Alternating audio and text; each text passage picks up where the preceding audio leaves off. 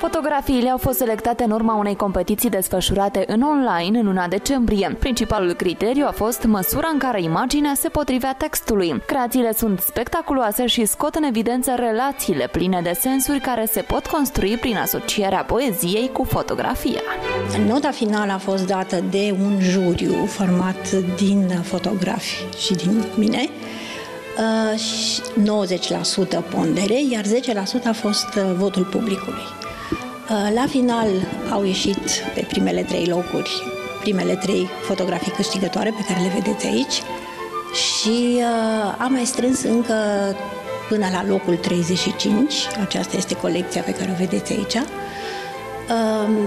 iar criteriul uh, de bază după care s-au făcut aceste, această selecție a fost în primul rând puntea care leagă haiku deci textul poemului, înțelesul, mesajul poemului de mesajul fotografiei. Expoziția a fost vernisată pe 11 februarie și poate fi vizitată până pe 25 februarie.